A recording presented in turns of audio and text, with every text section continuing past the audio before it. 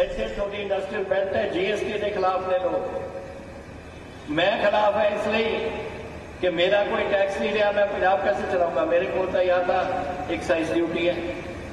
یا میرے کو اسٹیپ ڈیوٹی ہے یا چینج آف لینڈ یوز ہے تھوڑے تھوڑے چیزیں چھڑتیاں باقی سارا ہی G S T record Delhi نے حکومت کو اور ساری جو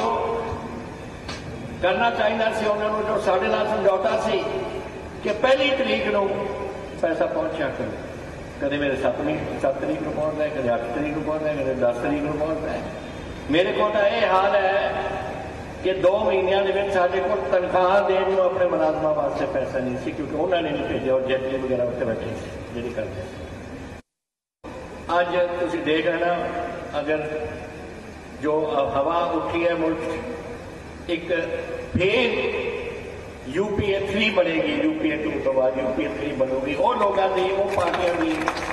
جو دیش پرتی ہوں، جو دوست دیش کا سوچتے ہو دیش کا سوچتے ہو